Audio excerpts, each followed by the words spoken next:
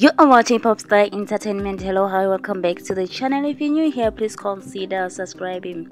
Here's the statement that Siya Kolisi and the wife shared on social media Instagram concerning their divorce. It reads as follows. We wanted to share some important news with you. After much reflection and open conversation, we have maturely decided to end our marriage. This decision comes from a place of love, respect, and understanding that this is the best path for both of us. While our relationship as a couple is changing, we remain great friends and committed partners in raising our children with the same love and care they have always known.